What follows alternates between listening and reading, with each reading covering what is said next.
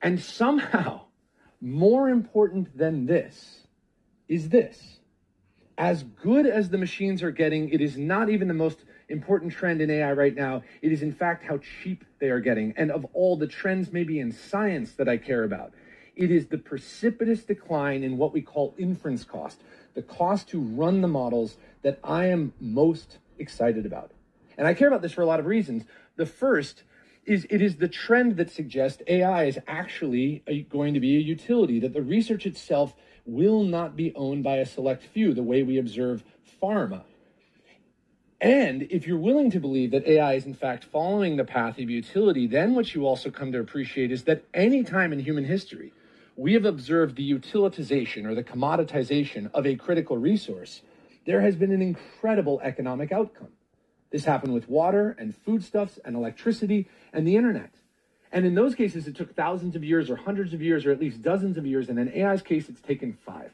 Five years for a very, very scarce resource to become very cheap.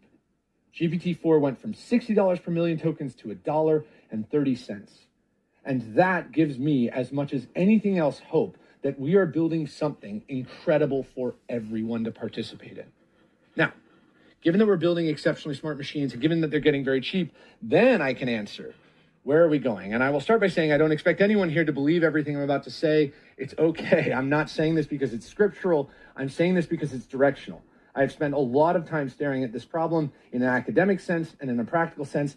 I've also learned that I am willing to argue these ideas a lot longer than you are. I have missed flights to defend myself. But that being said, I promise you that it is okay to disagree with me. I am presenting these ideas to give you a chance to consider a future that maybe you haven't yet. And I will start with what I think is fairly simple and maybe I can convince you of the integration phases of the AI revolution. How is this technology actually going to arrive in our lives? Well, the first phase is the one we're in today. Enhanced applications. You know this very well. This is, as best described, ChatGPT. It is the first and arguably most important AI enhanced application ever. It reminds us that the technology is not sufficient. You must build the application that matters. And I'm reminded of this because we built GPT 3.5, the technology that powered the application, in June 2022. Anyone could have built ChatGPT between our launch date, November 30th, 2022, and that date. We did.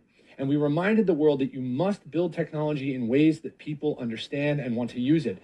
And since then, we've seen this incredible Cambrian event. Tons of applications have flooded the market, many of them you use today. Now, the cool thing about enhanced applications is that it doesn't require we change behavior very much, and you're going to learn from much smarter people.